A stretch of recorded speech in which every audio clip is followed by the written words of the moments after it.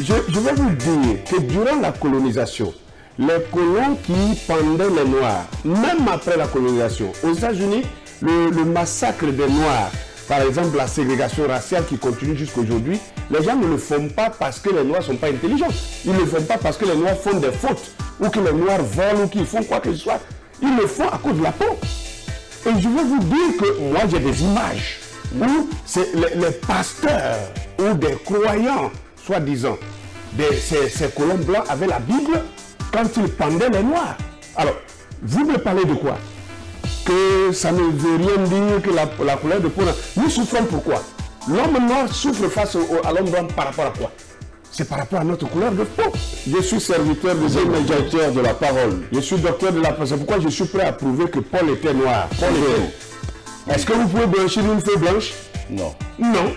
Ça veut dire que la feuille devait avoir autre couleur pour que la maladie blanche puisse la blanchir.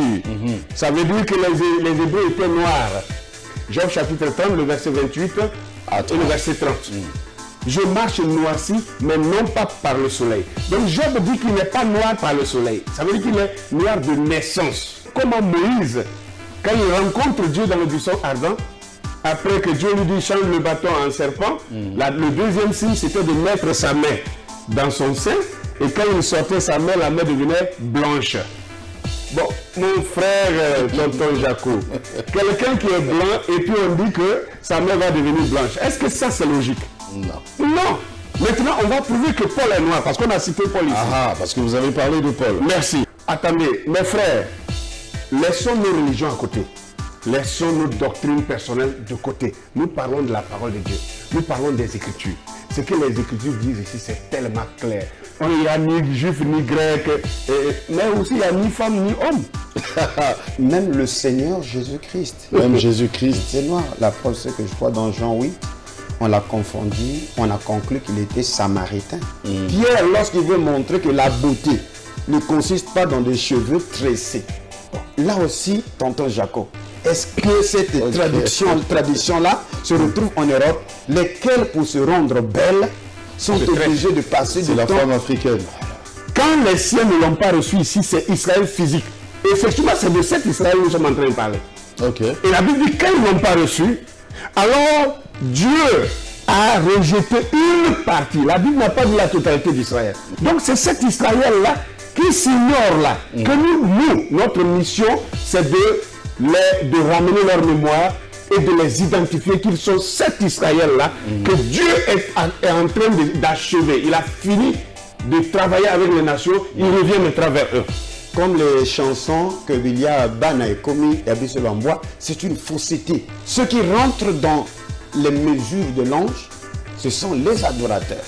Et ces adorateurs, la Bible dit, ils sont où? Au-delà des fleuves de l'Éthiopie. que à la fin, Dieu doit d'abord identifier, après avoir sauvé les nations par l'Église, il revient traiter avec Israël seul. Et il cite les familles ici. Et c'est pourquoi il faut identifier cet Israël-là. Ça n'a rien à voir avec l'Église. Parler.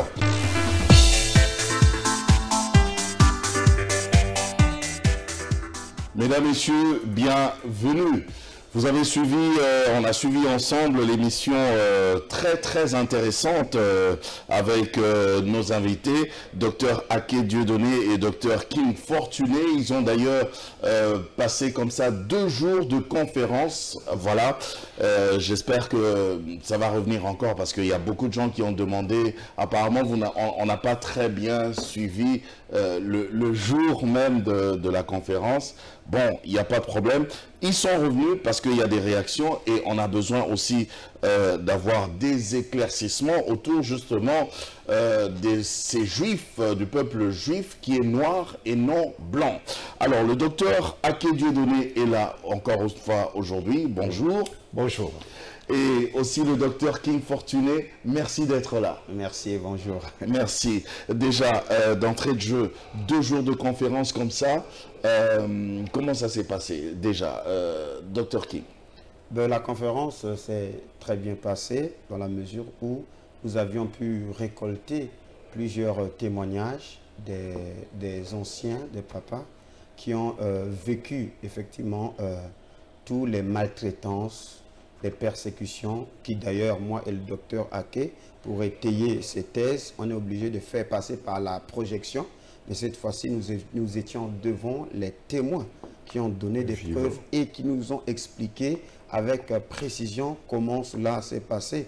Et ce qui est déplorable, c'est parce que bon, ces événements se sont passés en RDC ici, mais c'est en quelque sorte, en quelque sorte occulté et qu'on n'en parle pas.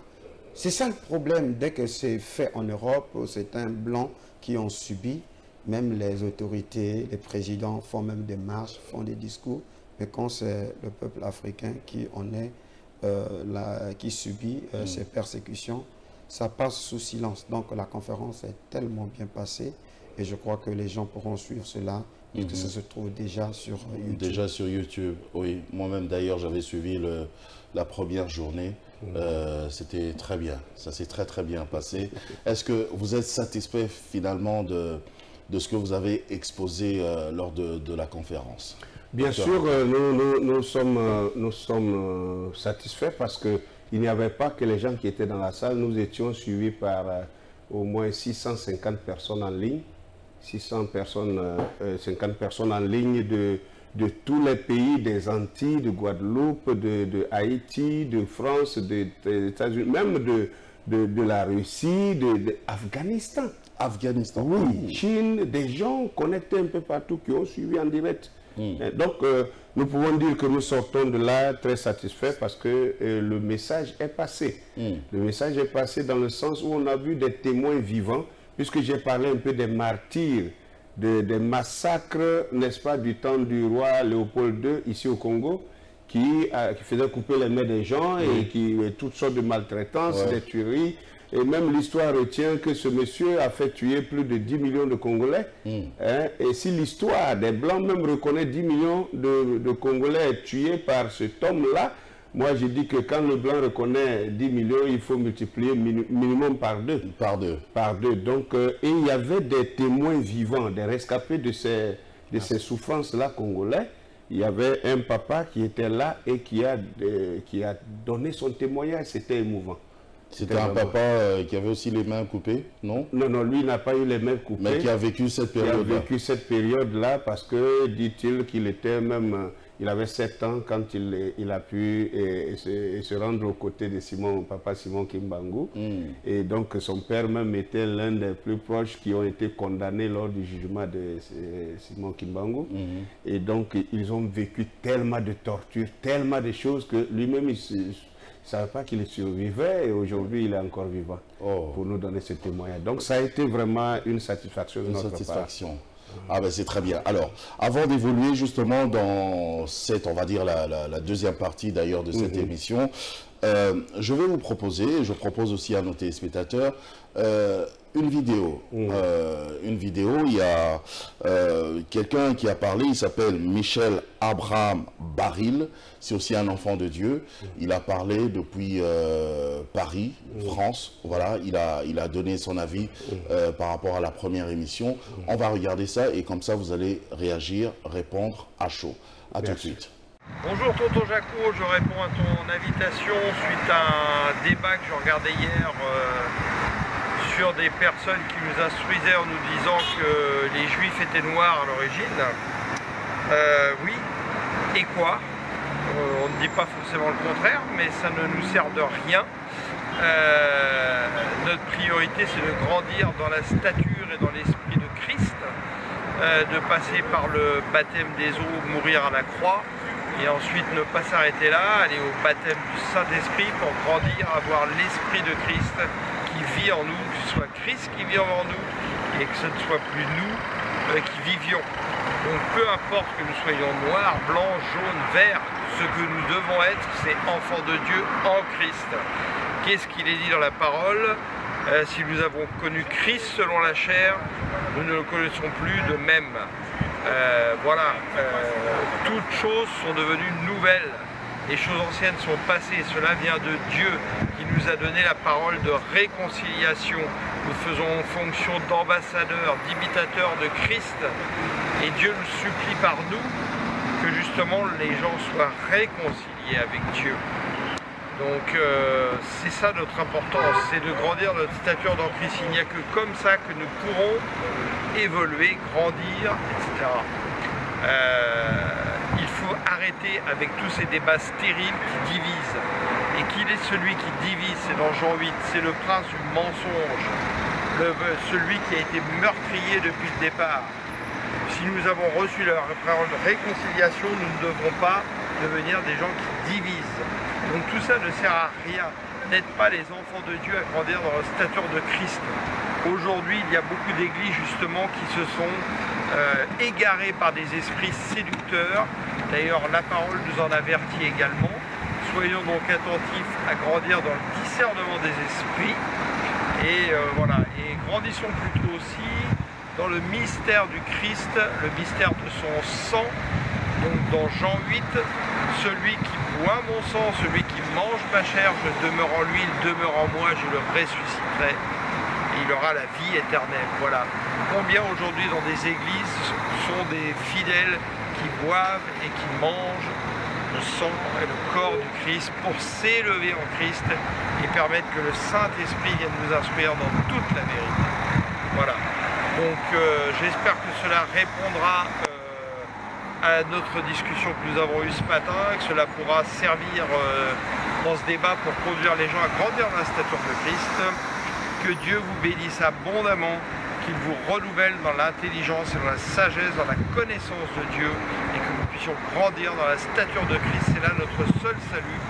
Méfions-nous de tous les esprits menteurs qu'il y a en ce moment, les esprits qui essaient de détourner de la parole, car euh, je pense que l'Afrique va tirer son épingle du jeu de la nouvelle, euh, de la chute de la nouvelle Babylone et de l'Occident, et que justement le diable passera par là aussi pour empêcher cela. Alors grandissons, grandissons en Christ. Alléluia, notre Dieu est grand, il est vivant. Amen. Il s'appelle Michel Abraham Baril. C'est un enfant de Dieu. Il est blanc, il n'est pas noir. Mais seulement il n'a pas un problème par rapport à, la couleur de la peau.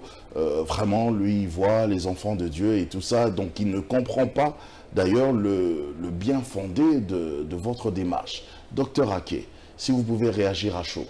Merci. Euh, je, lui dirais que, excusez-moi, on est tous des enfants de Dieu. Moi, je l'ai écouté puisqu'il nous a envoyé le message à nous. Il vous a envoyé au travers de vous pour que nous écoutions. Et nous avons écouté et je m'attendais à ce qu'ils viennent avec des éléments pour démentir ce que nous avons dit, mais il s'est évertué à dire simplement que cela n'est pas important. Alors, moi, je suis un peu sur ma soif parce que quelque chose qui n'est pas important pour vous n'est pas forcément aussi peu, ne peut pas être, ne pas, ne, pas être important pour quelqu'un d'autre. Voyez-vous? Je, je vais vous dire que durant la colonisation, les colons qui pendaient les Noirs, même après la colonisation. Aux États-Unis, le, massacre des Noirs, par exemple la ségrégation raciale qui continue jusqu'à aujourd'hui, les gens ne le font pas parce que les Noirs ne sont pas intelligents. Ils ne le font pas parce que les Noirs font des fautes, ou que les Noirs volent, ou qu'ils font quoi que ce soit. Ils le font à cause de la peau. Et je veux vous dire que moi, j'ai des images où les, les, pasteurs ou des croyants, soi-disant, ces, ces colons blancs avaient la Bible quand ils pendaient les Noirs. Ils avaient la Bible quand ils pendaient les Noirs, quand ils les, ils les massacraient, c'était avec la Bible. Donc, j'ai la déclaration de, je crois c'est Montesquieu, hier j'ai lu ça à la conférence là-bas, qui disait que ce serait vraiment impossible de croire hein, et de se mettre à l'idée que Dieu qui est bon ait pu mettre un esprit bon et une âme, une âme bonne dans un corps noir. Il dit que si nous croyons ici, c'est à en croire que nous ne sommes plus des chrétiens. Ça veut dire qu'il parle en tant que chrétien. Il dit que nous, les chrétiens, et qu'en tant que chrétien, un blanc ne doit pas croire en tant que chrétien que Dieu qui est bon ait pu mettre une âme dans un corps noir. Alors, vous me parlez de quoi? Que ça ne veut rien dire que la, couleur de peau... Nous souffrons pourquoi? L'homme noir souffre face à l'homme blanc par rapport à quoi? C'est par rapport à notre couleur de peau. Alors, si ce n'est pas important pour eux, c'est important pour moi, parce que c'est moi qui vis la chose. C'est moi qui en souffre. Mais ça, donne quand même une connotation euh, raciste quand vous... Mais qui est le racisme Est-ce celui qui nous massacre ou nous qui pleurons notre massacre parce que, euh, bon, chez nous, parce que vous êtes serviteur de Dieu. Hein? Oui. Ah. Mais chez nous, on, on, moi j'ai un, un, adage chez moi qui dit que si vous frappez un enfant, ne lui, ne lui enlevez pas le droit de pleurer. N'est-ce pas? Vous frappez un enfant et vous lui, vous lui enlevez le droit de pleurer, vous le tuez deux fois. Nous, le noir n'est pas Donc là, vous êtes en train de pleurer. On est en train de pleurer. On, on dit laisse, voilà, c'est on vous laisse le droit de pleurer. C'est tout. Mais après, le but, c'est quoi? Parce que D'ailleurs, vous êtes serviteur de Dieu. Je suis serviteur de Vous Dieu, êtes j'ai- docteur de la parole. je suis docteur de la parole. C'est pourquoi je suis prêt à prouver que Paul était noir. Paul était par la Bible. Allons directement. que les Hébreux étaient noirs, que Paul était noir, que, que euh, les apôtres étaient noirs, que le Christ était noir, avec la parole. Et je veux que quelqu'un qui me dit qu'il n'est pas d'accord, qu'il ne s'arrête pas là, mais qu'il vienne avec des éléments bibliques pour contredire. Au lieu de me dire je ne suis pas d'accord. Je vous donne tout le temps. Merci. Si vous, vous me donnez le tout le temps, docteur King aussi, je vais vous donner votre temps. D'accord. D'accord. Je commence par le peuple hébreu lui-même. Nous prenons le, le texte de Lévitique chapitre 13, verset 9 au verset 16 que je vais lire rapidement. Et puis, on va tirer un élément dedans qui est si clair, qui démontre que le peuple hébraïque est un peuple noir depuis l'origine. La Bible dit ici, dans, j'ai bien dit Lévitique chapitre 13, le verset 9 au verset 16. Lorsqu'il y aura sur un homme une plaie de lèpre, on l'amènera au sacrificateur. Le sacrificateur l'examinera. S'il y a sur euh, la peau une tumeur blanche, la Bible dit bien une tumeur blanche, si cette tumeur a fait blanchir le poil et qu'il y ait une trace de chair vive dans la tumeur, c'est une lèpre invétérée dans la peau du corps de cet homme. Le sacrificateur le déclarera impur. Il ne l'enfermera pas car il est impur. Verset 12. Si la lèpre fait une éruption sur la peau et couvre toute la peau de celui qui a la plaie, depuis la tête jusqu'aux pieds, Partout où le sacrificateur portera ses regards, le sacrificateur l'examinera. Et quand il aura vu que la lèpre couvre tout le corps, il déclarera celui-ci qui a la plaie, comme, il déclarera pur celui qui a la plaie. Comme il est entièrement devenu blanc, il est pur. Écoutez bien. Comme il est entièrement devenu blanc, il est pur.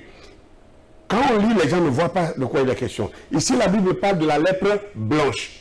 La lèpre blanche n'a rien à voir avec ce que vous appelez ici Moanza ou quoi là, la lèpre qui coupe les, les membres, c'est pas de ça. Là-bas. Merci. Ici, il s'agit de euh, du vitiligo. Son nom scientifique ici, Ah, le vitiligo. le vitiligo. Ok. Et, et, euh, ça, euh, son explication, c'est la- la- l'albinisme partiel. C'est-à-dire, Il y a c'est... beaucoup de gens, on voit. Merci. Voilà, c'est ça, c'est ça là, c'est ça. C'est ça qu'on appelle le Vitiligo. vitiligo. ouais. Oui. Alors, c'est ça qu'on appelle le, le vitiligo. Donc, cette lèpre-là, qui est la, la lèpre blanche, la Bible dit que si ça attrape un Israélite et que ça touche sa peau, tant que c'est tacheté comme ça, qu'il y a des parties blanches, des parties noires, alors il est impur.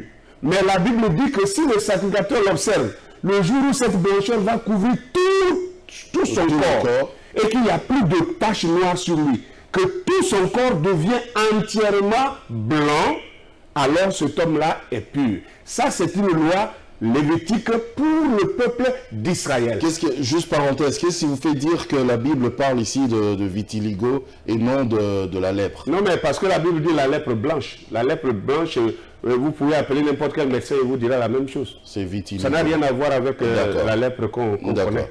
Allez-y. Non Oui. Maintenant, on dit, puisqu'il est devenu entièrement blanc, Hmm. ça veut dire qu'il n'était pas blanc au départ. Et cette lèpre-là, c'est une blancheur, c'est-à-dire c'est une maladie qui suce, qui enlève le- la mélanine sur la Mélanine. peau. Oui. Voyez-vous? Et l'absence de la mélanine le rend entièrement blanc. Un peu comme les albinos. Ça veut dire qu'il n'était pas blanc au départ. Est-ce que vous pouvez blanchir une feuille blanche? Non. Non.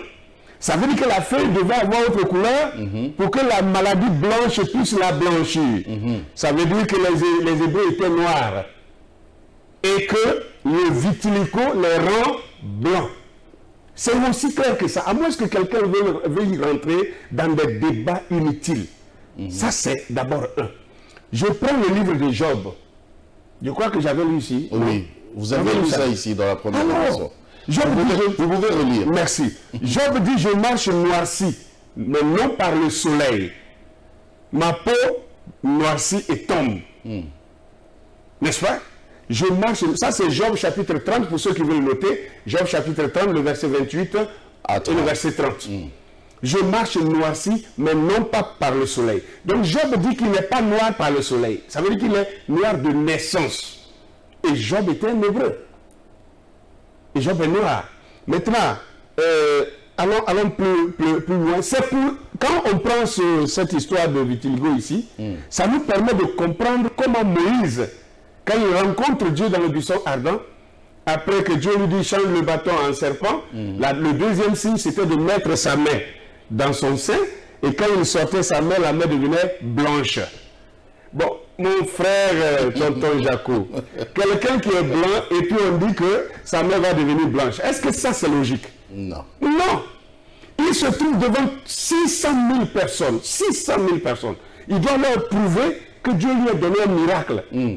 Donc devant 600 000 personnes, c'est des gens qui sont quand même hein, très donc il est noir et, puis il est noir. Il, doit, il doit mettre sa main noire ici. Ma main qui devient. Et quand ça devient blanche, les gens qui sont au bout là-bas doivent voir que sa main a blanchi. Ça veut dire que Moïse ne devait pas être blanc. Sinon alors, peut-être Dieu allait mettre une couleur noire pour faire la différence. À moins que quelqu'un veuille entrer dans les débats inutiles. J'avance encore pour vous donner euh, peut-être on va dire c'est l'Ancien Testament. Il y a beaucoup de choses mais je vais entrer dans la Bible. C'est la Bible, non? Merci mon frère. Mm. Maintenant, le nouveau, dans le Nouveau Testament, voilà ce qui est dit ici. Nous sommes ici dans Acte chapitre 13. Acte chapitre 13, le verset 1 seulement. Mm. Le verset 1 seulement. La Bible dit, il y avait dans l'église d'Antioche des prophètes et des docteurs. Barnabas, Siméon, appelé Niger, Lysus de Cyrène, Manahem qui avait été élevé avec Hérode le tétarque et Saul. OK? Il n'y a rien ici, mais il y a plein de révélations là. OK. La Bible dit que dans l'église d'Antioche, il y avait des prophètes et des docteurs. Il cite Barnabas. Il cite Siméon appelé Niger. Hmm. N'est-ce pas? Le mot Niger, en latin comme en hébreu, ça veut dire noir ou nègre. Ok. Oui, c'est pourquoi si vous prenez la Bible, le semeur. Niger. Oui. Si vous prenez la Bible, le version Seigneur, là-bas c'est écrit, clairement Siméon surnommé le noir. Dites-moi qu'un blanc qu'on le nomme le noir. Est-ce que c'est possible? Bon, on dit Siméon surnommé le noir et l'Issus de sirène. Vous savez que l'homme, le, seul homme qu'on nous disait qu'il est noir dans la Bible, on dit c'est Simon de Sirène. Mhm. Parce qu'il venait de Sirène. Mhm. Hein, son pays d'origine, mm. la Cyrénaïque, c'était un territoire égyptien. Mm-hmm. Maintenant, si c'est le cas que Simon de Cyrène était noir parce qu'il vient de la Cyrénaïque, celui-là aussi, la Bible dit Lucius de Cyrène. Lucius aussi est originaire du même endroit. Donc Lucius est quoi? Il est noir. Et noir. Maintenant, on va prouver que Paul est noir, parce qu'on a cité Paul ici. Ah, parce que vous avez parlé de Paul. Merci. Paul est bel et bien noir. Nous prenons Acte chapitre 21 Acte chapitre 21 à partir du verset 35. Le jour où Paul, l'apôtre Paul a été arrêté au temple de Jérusalem, mhm. n'est-ce pas Quand les Juifs l'ont accusé, ils l'ont attrapé, ils ont commencé à le lécher. La Bible dit que c'est le tribun qui est venu avec des soldats pour venir le sécuriser. Maintenant, quand le tribun l'a sécurisé, voilà ce qui va se passer au verset 35. Lorsque Paul fut sur les degrés, il dut être porté par les soldats à cause de la violence de la foule. Hmm. Car la multitude du peuple suivait en criant, fais-le mourir. Au moment d'être introduit dans la forteresse, Paul dit au tribun, m'est-il permis de te dire quelque chose? Et le tribun répondit, sais-tu le grec? C'est-à-dire, sais-tu parler le grec? Oh, tu parles le grec? Tu n'es donc pas soto-égyptien qui s'est révolté dernièrement et qui a amené dans le désert 4000 brigands. Mm-hmm. Oh, tu parles le grec? Tu ne donnes pas cet Égyptien. Moi, je te prends pour un Égyptien. Tu ne donnes pas cet Égyptien-là qui s'est révolté, qui a pris des brigands pour aller dans le désert. Et regardez la réponse de Paul. Paul dit Je suis juif, reprit Paul, de Tars en Cilicie, citoyen d'une ville qui n'est pas sans importance. Permets-moi, je te prie de parler au peuple. Paul répond pour dire Je ne suis pas un Égyptien, je suis juif de Tars en Cilicie. Maintenant, regardez ce qui se passe. Les Égyptiens étaient noirs. C'était un peuple noir. Noir. Et ici, le tribun regarde Paul, il le confond à un Égyptien. Si Paul était blanc, comment alors le, le, le, le tribun Devait le confondre. aurait pu confondre Paul qui est blanc avec un noir Attendez, mes frères, laissons nos religions à côté. Laissons nos doctrines personnelles de côté. Nous parlons de la parole de Dieu. Nous parlons des Écritures. Ce que les Écritures disent ici, c'est tellement clair. On a beaucoup de choses, comme on est deux, je vais laisser parler mon frère et je reviens. On a trop de preuves, mais j'ai dit qu'après que nous serons passés, quiconque conteste, je veux qu'il vienne aussi avec des Écritures. Ok. Qu'il ne s'arrête pas pour balancer des paroles sans fondement. En disant on n'y a ni juif ni grec, mais aussi il n'y a ni femme ni homme. D'accord. Doct- Docteur King, euh, vous avez aussi beaucoup de preuves apparemment. hein. Oui, ça, ça fonctionne, oui. les preuves. Je pense que c'est même le temps qui va nous faire défaut. Oui. Oui. On ne peut pas quand même sillonner l'Afrique euh, Euh, en, sans, en quelques, en quelques minutes. non, sans avoir assez de preuves, dans la mesure où on ne se cache pas. On, on utilise les médias, les conférences. Ça veut dire qu'on est sérieux dans, dans ce que nous faisons. Bon, moi, j'ai... Donc déjà, euh, vous approuvez que même Paul était noir. Même le Seigneur Jésus-Christ. Même Jésus-Christ. était noir. La preuve, c'est que je crois dans Jean 8, on l'a confondu, on a conclu qu'il était samaritain. Pour les Juifs, ils ont dit que nous voyons que tu es un samaritain. Et donc, Les Samaritains étaient noirs? Dans la péninsule, De l'époque de Jésus. le Moyen-Orient était... Enfin, excusez-moi avec mes questions, mais allez-y, allez-y, je vous donne du temps aussi. Euh, nous, nous venons je suis trop curieux. hein, Nous venons de suivre euh, la- l'exposé ou la pensée de notre cher ami et aussi compagnon dans, dans le ministère, Frère Michel, Frère Michel. Et d'ailleurs, Michel Abraham. Je, je suis d'accord de- dans la mesure où chacun est libre d'exprimer son opinion. hein. Euh, il a soulevé quelque chose de très capital sur la nouvelle naissance. Moi, je pense que nous sommes précis ici. Ici, les conférences ont un sujet. S'il s'agissait de la prospérité, on parlerait de la prospérité. ok. S'il s'agissait de la, la délivrance, on, on parlerait de la délivrance. Mais ici, Et même de la nouvelle naissance aussi. de la nouvelle naissance, on va développer sur la nouvelle naissance. Mais ici, le thème Vous n'êtes pas contre tout ça. Nous, nous sommes d'abord des pasteurs Oui. et nous enseignons toutes les recommandations du salut à l'Église. Vous n'avez qu'à nous inviter et vous fixer une, euh, un, Un sujet. thème. Et même euh, notre pasteur peut nous inviter sur un sujet comme la nouvelle naissance. Il verra que nous sommes euh, de connivence avec lui. Mais ici, il s'agit des Hébreux. OK? Il s'agit ici de faire une étude approfondie sur qui sont les Hébreux de la Bible. Et on ne peut pas parler d'Israël et surtout la problématique des- du scellement des 144 000 Israélites si nous ne connaissons pas qui sont réellement ces Israélites-là. Vous voyez?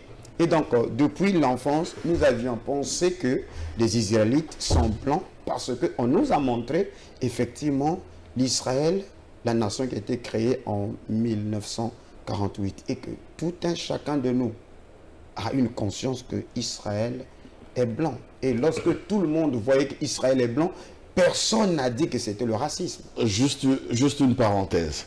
Si même Jésus-Christ était noir, or Jésus-Christ a aussi une généalogie.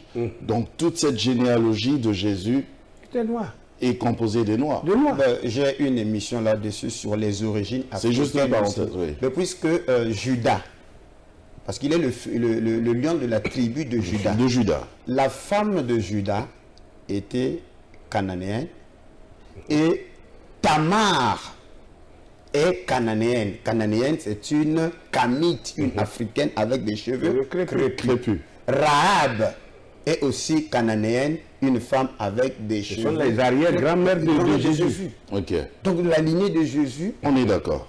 On ferme la parenthèse. Ok. Allez-y, docteur. Euh, donc je disais que la Bible dit que toute écriture est inspirée de Dieu, Mhm. utile pour enseigner. Donc aucun homme sur la terre n'a l'appareil de mesure pour dire que telle écriture n'est pas utile, telle écriture n'est pas utile, tel thème n'est pas utile. Comme le docteur Ake a dit, si un tel pense que ce n'est pas utile, mais il y a des gens qui trouvent que c'est ça ce qu'il faut pour leur élévation spirituelle. Nous pensions que quelqu'un devait nous amener quelques preuves, des éléments contradictoires pour nous pousser à réfléchir. Mais vous parlez de l'élévation spirituelle, mais bon, savoir que je suis euh, juif, quelle élévation spirituelle ça m'apporte? Mais Parenthèse, hein. Mmh. Mes questions de curiosité seulement. Voilà pourquoi euh, c'est très capital ce sujet sur euh, qui est juif. Parce que selon Deutéronome 60, euh, 26, 28, le verset 68, écoutez ce que les Saintes Écritures euh, Deutéronome 26. 28, 28. le verset 68, il est dit Et l'Éternel te ramènera sur des navires en Égypte. C'est-à-dire l'Égypte, c'est l'Afrique. Et tu feras ce chemin dont je t'avais dit, tu ne le verras plus. Là, vous vous offrirez en vente à vos ennemis comme esclaves et comme servantes. Deutéronome 28 que nous enseignons, les bénédictions et les malédictions, ce sont des sentences et des imprécations que Moïse prononce sur Israël en cas de désobéissance. Donc la dernière sentence qui devait arriver à Israël, c'est le retour en Afrique afin de subir la servitude, l'esclavage. Parce que Dieu les a fait sortir de l'Égypte où ils ont été opprimés pendant quelque temps pour qu'ils héritent le pays de la promesse. Et en cas de désobéissance, ils repartiront en Afrique. Cette fois-ci, ça sera pour purger leur peine. Maintenant, voilà pourquoi, dans le Lévitique 26, il dit qu'il va les déraciner de leur terre et les disperser. Alors, lorsqu'ils sont devenus tout un royaume au temps de David et de Salomon, après la mort de Salomon, il y a eu schisme. Il y a eu la création du royaume du Nord qui est constitué des dix tribus qu'on appelle Éphraïm, ou les dix tribus, ou le royaume d'Israël, et la tribu de Judas, la tribu de Benjamin et la tribu de Lévi. Ce sont ceux-là qui ont constitué le royaume du Sud, ou le royaume de Juda. Et les deux royaumes sont restés toutefois en guerre. Il y a eu des animosités. Alors, dans Ésaïe 7, le verset 14, je crois que vous êtes euh, serviteurs de Dieu, d'autres sont des chrétiens, tous, lorsqu'on dit le signe qui a été donné de la conception d'une vierge, la première idée c'est qui? C'est Emmanuel, c'est le Seigneur Jésus-Christ. Mais prophétiquement, ça ne s'adressait pas directement à Marie. Cette prophétie était en rapport avec le signe que le roi Akab, euh, Akaz devait demander à l'Éternel. Et comme il avait refusé de tenter l'Éternel, le Seigneur a dit à Ésaïe, l'Éternel lui-même vous donnera un signe, une vierge concevra. Et dans Ésaïe 8, c'est Ésaïe qui va vers une prophétesse qui était vierge et qui a conçu un enfant qui était le troisième enfant de, du prophète Ésaïe. Et la Bible dit que quand l'enfant commencera à dire papa et maman, c'est en ce moment-là que le royaume du nord, c'est-à-dire le roi d'Israël et le roi de Syrie, qui s'étaient associés pour vouloir détruire le royaume de Juda, commencera la dispersion. Où il dit que le signe que je vous donne, c'est que le royaume du nord, c'est-à-dire les dix tribus, ils seront en dispersion ou en déportation. Et donc, cette déportation commence effectivement en 734 avant Jésus-Christ, lorsque euh, le roi assyrien, que l'on appelle euh, euh, comment Tiglath-Pileser, vient pour annexer le royaume du Nord. Et qui sera repris plus tard par Salmanazar V, qui prend, qui emprisonne le dernier roi d'Israël, c'est-à-dire Osée, de 727 jusqu'à 722. Commence, il pose les- le siège de la Syrie, de, de- de Samarie, et en fait, en 721, c'est là où il y a destruction de Samarie et Israël a été une Donc, partie. été Samarie, euh, ils étaient des Noirs, hein. les Samaritains. J'explique, j'arrive là. Voilà pourquoi. euh, donc les Hébreux, les. Hébreux ont été pris et les, les annales assyriens indiquent qu'il y a eu 27 290 Israélites qui ont été emmenés, déportés en Assyrie. Le reste qui était resté, ils ont fui en Afrique. Ok? Et dans Osée chapitre 9, le verset 6, la Bible dit, voici, ils partent à cause de la dévastation. Oh, Il dit, euh, ils ne resteront pas dans le pays de l'Éternel. Ephraïm retournera en Égypte, c'est-à-dire l'Afrique. Au verset 6, Osée chapitre 9, il dit, voici, ils partent à cause de la dévastation. L'Égypte ou l'Afrique les recueillera, Monf leur donnera, ou Memphis leur donnera des sépulcres. Donc, vous voyez qu'après les invasions assyriennes, la masse, les dix tribus, Oui. ils ont fui en Afrique parce qu'ils ont un lien profond avec l'Afrique, puisque Ephraïm et Manassé, ce sont des juifs d'origine aussi égyptienne, puisque les fils de Joseph avaient pour mère euh, une égyptienne. ok? Donc nous comprenons par là qu'une grande partie du royaume du nord, les dix tribus, se retrouvent en Afrique. Les Samaritains sont venus comment? Le territoire a été libéré et le roi assyrien a pris les, les gens qui étaient en, euh, dans, dans- dans- dans, euh, à Babylone et partout dans l'Asie mineure. Il est venu les placer dans le territoire qui était habité par les Israélites. Ce sont ceux-là qu'on appellera plus tard les Samaritains. Ils ne sont pas blancs, ils sont des Noirs. Alors, le royaume du Sud, c'est-à-dire le royaume de Juda qui reste, en 606, à cause de la désobéissance, Nebuchadnezzar vient pour imposer un tribut. Là, nous sommes en 606. Et il déporte les princes, parmi lesquels il y a Daniel. Et en 597, il vient pour prendre les cadres, les militaires, les religieux, parmi lesquels il y a le prophète Ézéchiel. Nebuchadnezzar, il était noir? Mais c'était un. Babylonien et tout ça. Alors, la troisième vague de déportation, c'est en 586, c'est là où le temple a été incendié. Et quand le temple est incendié, alors une partie avait fui en Asie et tout.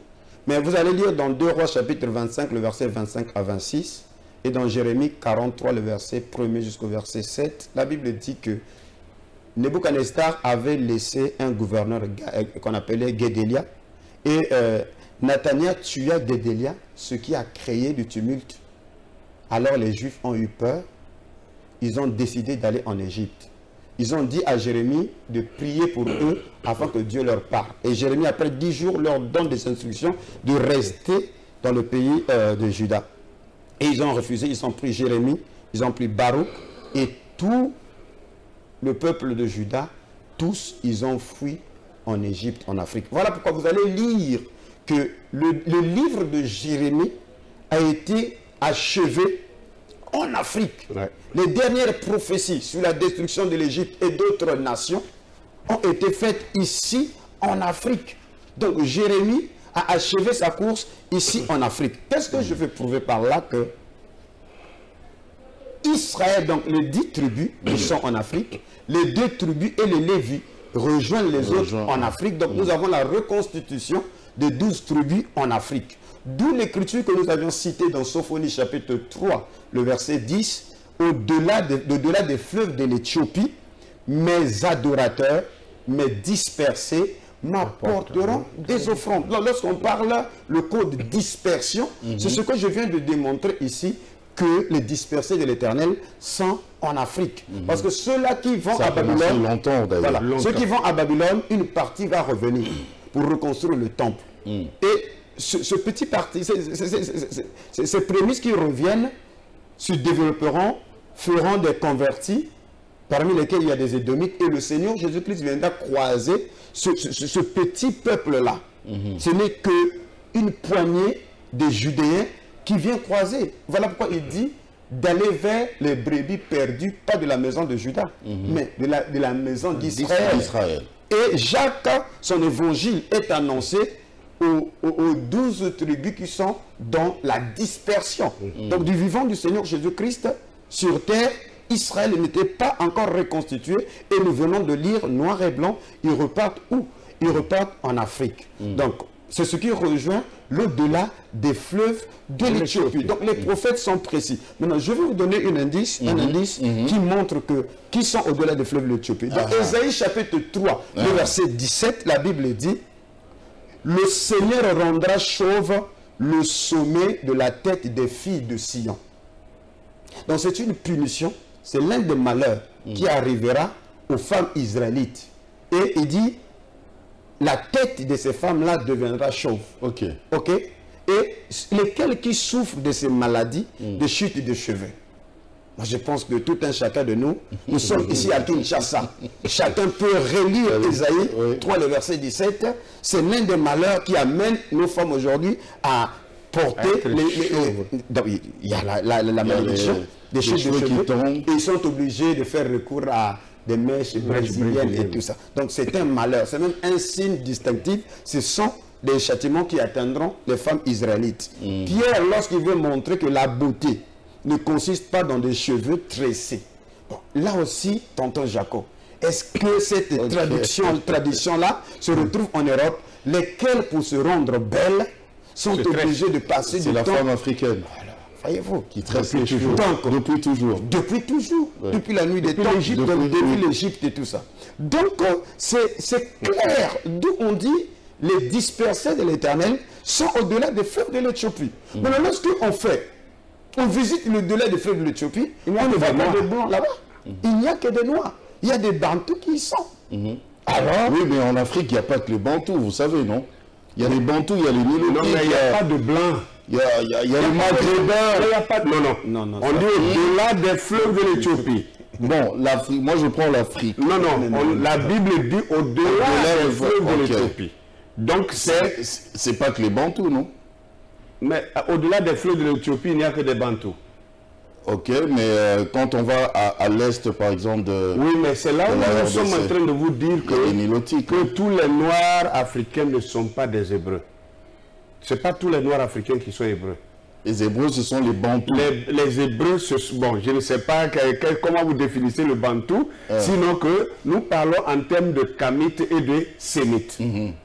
Et ce sont les Sémites. Enfin, par la morphologie, hein, déjà sont Afrique, les vous savez, Sémites. on sait voir que ça, c'est un Bantou. On sait voir que vous êtes Bantou. oui, parce que c'est un juif. oui, on- il y a la forme de- du nez, a- on sait voir. Oui. Voilà. Les Donc, Nilotiques aussi, on sait les voir. Vous voyez, non? Ah. Donc c'est de ça que nous parlons. Mais il n'y a pas de blanc. Ici, le débat, les gens veulent qu'on ne dise pas que, que les Hébreux sont noirs. Donc on n'a qu'à laisser... Qu'est-ce qui vous dérange vraiment euh, après, vraiment après n'est toutes pas, ces ce n'est pas moi qui suis dérangé. qui sont, qui sont bien d'ailleurs Mm. Euh, Qu'est-ce qui dérange? Ce n'est pas moi qui suis dérangé. C'est ceux qui contestent qui sont dérangés. Parce que moi, je ne fais que... Vous avez posé une question, j'attendais qu'il qu'il réponde, il, n'a pas, il, a, il a parlé, il a oublié ça. Vous avez dit, mais quel, quel, quel bien ça... En fait, ça apporte quoi Quel Quel avantage? Voilà, je le sais, oui. Et après? Merci. C'est là où je vous dirai ceci. Je suis chrétien, enfant de Dieu, et puis Ok. on évolue. Je suis né, je suis né dans une famille royale, par exemple. Un exemple, hein. Hmm. je suis né dans une famille royale. Donc mon père est roi. J'ai du sang royal qui coule en moi. Et un matin, je sors et je me perds du chemin et je suis perdu. Je me retrouve quelque part dans la brousse et quelqu'un d'autre, un pauvre monsieur, me ramasse en brousse, il ne sait pas d'où je viens et il m'amène chez lui, il me lève dans son campement de pauvres, de misère. Et je grandis là.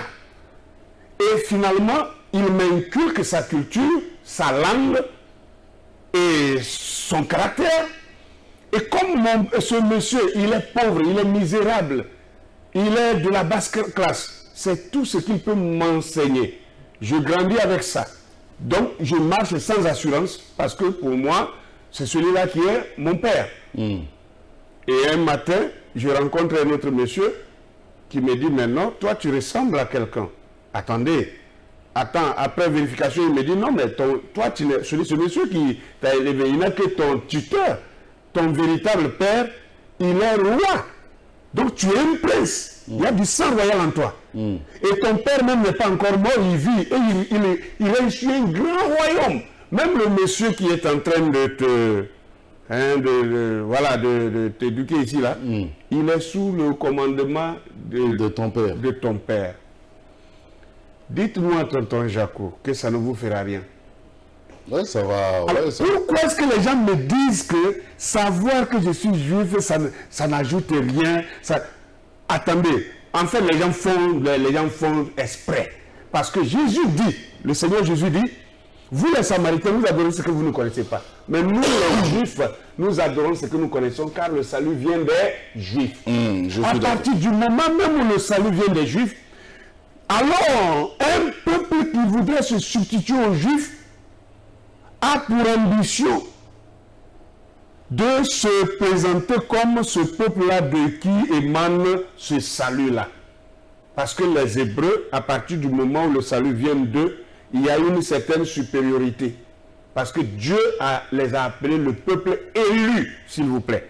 D'accord. Un peuple élu. Maintenant, Jésus, là, il est venu chez les siens, mais les siens ne l'ont pas reçu. Hmm. Voilà maintenant la Bible dit, mais à tous ceux qui l'ont reçu, tous ceux qui Mais pourquoi est-ce que vous sautez, ben, vous venez de dire, Euh. les siens ne l'ont pas reçu? Euh. Quand les siens ne, ne- ne l'ont pas reçu, est-ce que Dieu, Dieu a fini avec ces siens-là?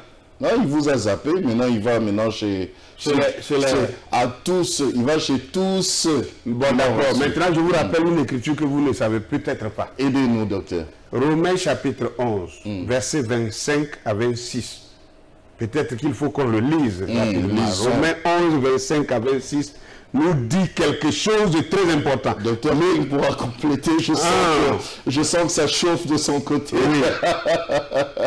C'est très intéressant cette émission. Romains 11, 25 à 26 nous dit ceci. Car je veux, je ne veux pas, frère, que vous, vous ignorez ce mystère, afin que vous ne vous regardez point comme sages. C'est qu'une partie d'Israël est tombée dans l'endurcissement jusqu'à ce que la totalité des païens soit entrée, et ainsi tout Israël sera sauvé, selon qu'il est écrit. Le libérateur viendra de Sion et il détournera de Jacob l'impiété. Attention, quand les siens ne l'ont pas reçu ici, c'est Israël physique. Effectivement, c'est de cet Israël que nous sommes en train de parler. Ok. Et la Bible dit quand ils ne l'ont pas reçu, alors Dieu a rejeté une partie. La Bible n'a pas dit la totalité d'Israël. La Bible dit ici une partie d'Israël a été Rejeté. Pour donner place aux païens, aux nations païennes Aux nations. d'être sauvées. Et quand ces nations païennes auront été sauvées, le dernier païen aura été sauvé, Dieu revient maintenant pour sauver tout Israël. Ça aussi, c'est ça, on vient de lire. Pourquoi vous voulez que les nations soient sauvées et que Dieu oublie Israël qu'il avait retranché? Il n'a pas dit ça. Il dit il les retranche, c'est comme il fait une brèche, et il fait entrer un peuple qui n'était pas compté dès le départ. Et quand ce peuple-là entre, c'est ceux-là qu'on appelle les nations, c'est ça qu'on appelle l'épouse, c'est ça qu'on appelle les chrétiens. Et quand ces, gens-là, hein, selon la prédestination, la dernière personne que le Seigneur avait prévu de sauver dans les nations païennes, quand il finit de sauver la dernière personne, il revient, il ferme la porte aux nations, il revient à, cet Israël-là pour sauver Israël qu'il avait mis de, de- de côté. Donc c'est cet Israël-là qui s'ignore là, que nous, nous, notre mission, c'est de, les- de ramener leur mémoire et de les identifier qu'ils sont cet Israël-là que Dieu est, en- est en train de- d'achever. Il a fini de travailler avec les nations, il revient maintenant vers eux. Ok. Donc il est, il- il- il est- d'abord important Avec son vrai peuple. qu'ils soient d'abord identifiés pour savoir qu'il s'agit d'eux. Parce que leur retour ne sera pas la même chose que la manière dont Dieu a sauvé les nations. Leur retour se fera par euh, la repentance collective. Ça, c'est ça, on peut lire ça bientôt tout à l'heure. Oui. euh, puisque on reste toujours de 5 minutes. Malheureusement, oulala. Bon, mais, mais, mais si, euh, bon, dans ce cas, laissez-moi parcourir rapidement quelque chose rapidement. Autrement, en dehors même des, des écritures bibliques qu'on a encore beaucoup à citer, permettez-moi de vous montrer des écrivains depuis longtemps qui ont écrit et dans leurs écrits, ils ont tous dit que les Hébreux sont noirs. N'est-ce pas? Ok. Je tiens d'abord ici ce livre-là qui est physiquement devant moi, hein, que je montre à l'écran. Ici, c'est écrit des Jew, un négro. ok. Ça veut dire le juif est nègre. Ok. Le juif est noir. Ok. Déjà, le thème même vous dit ce que vous pouvez trouver dans, à, à l'intérieur. Ok. Et, et là, dans son livre-là, à la page 7, je vais vous lire ça rapidement, il dit, c'est en anglais, hein, En anglais. mais je peux traduire. Il dit, The original Jew were therefore short, dark people of the long-headed type. The original Jew and Negro were then descended from the same father. Ça veut dire que les Juifs d'origine étaient cependant de taille courte, sombre, c'est-à-dire noire, un peuple du type longue tête, et il dit les Juifs d'origine et noirs étaient descendants d'un même père. Et ça, c'est un blanc qui a écrit ça, ce n'est même pas un noir pour qu'on soit en train de douter. C'est un blanc et il a écrit ça. Il a, c'est, quelqu'un de 1872 à 1956. D'accord. Hein? Et il y, y y a- il y a beaucoup de personnes comme ça, euh, telles que des, des tributes for des, des négros. Lui aussi, c'est, c'est dans- c'est Wilson euh, Amstead. Il dit la même chose que les descendants des juifs originaires de Judée étaient installés sur les côtes ouest africaines et ils sont noirs. Il y a beaucoup de, de- de- de titres ici, on n'a Très intéressant, malheureusement. Alors, docteur King, je vous donne deux minutes et comme ça, euh, le docteur Ake va conclure en une minute.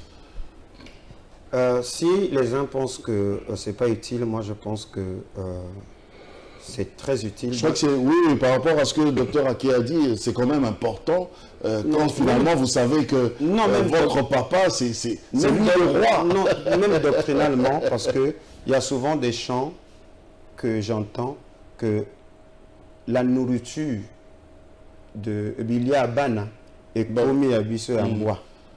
Mais- mais Il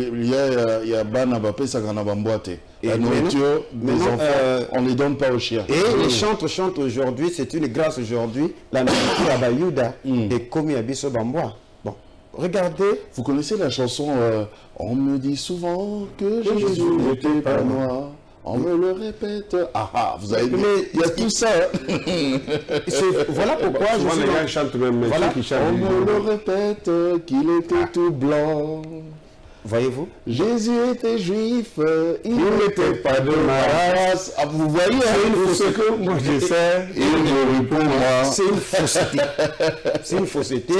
Comme les chansons que Bilia Bana est commis c'est une fausseté. Voilà pourquoi c'est pas simplement euh, de, de- de connaître qu'on est noir ou pas, ça vient régler, redresser, déconstruire en fait toute la base théologique qu'on a. Parce qu'il faudrait que nous puissions savoir qui est sémite, qui Mhm. n'est pas. Pourquoi la Bible parle des incirconcis? Est-ce que nous sommes des incirconcis? Non, il est circoncis. Pourquoi? C'est même dans notre culture. Mais pourquoi vous Mais pourquoi on dit que nous on est incirconcis? Oh, la On nation c'est incirconcis. Or, le mot nation, c'est le mot gentil, ou les étrangers, ou les, les incirconcis. Déjà, dans l'Apocalypse chapitre 11, le verset 1er, la Bible dit Et on me donna un roseau semblable à une euh, verge, en disant Lève-toi et mesure le temple de Dieu, l'autel et ceux qui y adorent. Mais les parvis extérieurs, laisse-les en dehors et ne le mesure pas, car il a été donné aux nations et elles fouleront aux pieds la ville sainte pendant 42 mois. Voyez-vous que ceux qui rentrent dans les mesures de l'ange, ce sont les adorateurs. Et ces adorateurs, la Bible dit, ils sont où? Au-delà des fleuves de l'Éthiopie. Parce que là, il s'agit du temple. Et dans euh, Romains chapitre 9, à qui appartient le culte À qui appartient le temple À qui appartiennent les alliances À qui appartiennent les patriarches Et même Christ selon la chair, c'est une promesse des Israélites. C'est écrit noir et blanc, nous sommes ici dans le Nouveau Testament. Donc c'est un sujet très très capital parce que aussi longtemps que vous priez le Seigneur sans que vous sachiez, vous êtes sous quelle alliance, vous êtes sous quelle lignée, il vous sera difficile. Voilà pourquoi euh, euh, le Seigneur a dit à la femme euh, cananéenne que c'est pas ta nourriture, parce que c'était réservé aux Israélites. Aux Donc si nous sommes Israël, quoi que nous soyons chrétiens, nous devons adorer Dieu en tant qu'Israélites. Voilà que Paul est apôtre des incirconcis. Et nous, nous ne sommes pas les circoncis. Ça veut dire que nous avons une alliance avec le Seigneur, quoique à partir de la croix, mais en tant que circoncis. Mhm. La circoncision, ça a toujours été dans notre culture. Concluez, docteur Ake. Merci beaucoup. Euh, vous pouvez leur parler directement les regardants. D'accord, merci beaucoup. Alors, si je devais conclure, je dirais merci d'abord de nous avoir invités à nouveau. Je vous Et merci pour ce, notre frère, le prédicateur français, hmm. qui a essayé, il a, il a essayé de, de, dire quelque chose, mais finalement, il a fait un long discours vide. C'est un long discours vide, moi, je vais être courtois, sinon il nous a insultés. Il a dit que nous sommes des esprits, euh, esprits menteurs, de diviseurs et tout ça. Je ne vais pas rentrer dans ça. Mais je voulais, je voulais dire à ceux qui nous ont écoutés que moi, quand je parle, même quand j'accepte un débat, je ne débat pas pour qu'à la fin on me dise que j'ai raison et que l'autre a tort. Je débat pour que ceux qui nous écoutent, qu'ils écoutent les deux versions et que l'Esprit de Dieu qui est en eux leur permette de prendre le bon côté car Dieu permet qu'au travers de nos langages, de ce que nous disons à partir de la parole de Dieu, que l'Esprit de Dieu sélectionne la parole qu'il veut mettre dans le cœur de qui il veut mhm. que ça soit entré. Alors, je voudrais que euh, clôturer sur Zacharie chapitre 12. 30 secondes, vous avez 12, 30 secondes. Qui nous dit, ah, alors je répandrai sur la maison de David et sur les habitants de Jérusalem un esprit de grâce et de supplication, et ils tourneront les regards vers moi, celui qu'ils ont percé. Ils pleureront sur lui comme on pleure sur un fils unique, ils pleureront amèrement sur lui comme on pleure sur un premier-né. En ce jour-là, le deuil sera grand à Jérusalem, comme, un deuil, comme le deuil d'Adadrimon dans la vallée de Megiddo. Le pays sera dans le deuil, chaque famille séparément. La famille de, de la maison de David séparément, avec les femmes à part. La famille de la maison de Nathan, séparément, avec les femmes à part. La famille de la maison de Lévi, séparément, avec les femmes à part. La famille de Chiméi, séparément, avec les femmes à part. Toutes les autres familles, chaque famille, séparément. Ça veut dire qu'à la fin, Dieu doit d'abord identifier, après avoir sauvé les nations par l'Église, mhm. il revient traiter avec Israël seul. Et il cite les familles ici. Et c'est pourquoi il faut identifier cet Israël-là. Ça n'a rien à voir avec l'église Très important. En tout cas, très important. Que Dieu vous bénisse. Mm. Merci beaucoup. C'était, euh, on a appris, on a appris, mais on doit continuer à apprendre. Euh, c'est très très important. Malheureusement, le docteur Ake doit rentrer euh, demain. demain déjà en Côte d'Ivoire. Oui. Comment on dit au revoir en Côte d'Ivoire? Chez, chez les Ivoiriens eh, nous, on n'est pas comme au Congo. Déjà une beauté. Bonjour, on dit comment? C'est pourquoi je dis que nous, on n'a pas une langue centralisée. en Côte d'Ivoire, chacun parle le français. Ok. Il n'y a, pas... Les, ethnies, c'est... Il n'y a pas une langue dominante. Dominante comme nous, le lingala. Non. Oh là là. C'est ça le malheur chez nous là-bas. Oh là là, ok. Mais à, Brazzaville, c'est toujours... Euh, une beauté, c'est la beauté. Et on voit, je sais pas... Euh, ok, mais malam. Ok, malam. Voilà. Ben, ici, on peut dire, je peux le dire aussi en Naté, on dit Aoumfa. Aoumfa. Aoumfa. Aoumfa. Ok. Enfin, docteur Ake. Merci de nous avoir suivis. Les réactions, n'hésitez pas, vous pouvez faire comme euh, le frère Michel Abraham qui a carrément fait une vidéo où il réagissait. Et on va trouver un moyen hein, pour euh, encore avoir nos invités, peut-être aller vers eux, soit à Brazzaville, soit en Côte d'Ivoire. On va organiser ça. Portez-vous bien, hein. que Dieu vous bénisse. Au revoir. Au revoir.